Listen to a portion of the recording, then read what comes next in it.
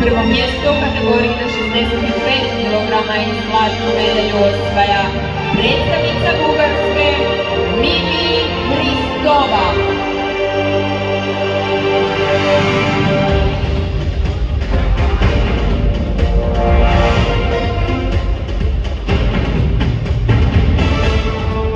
Ladies and gentlemen, please rise for the national anthem of Bulgaria. Molimo vas da ustanete i poslušate himnu Bugarske.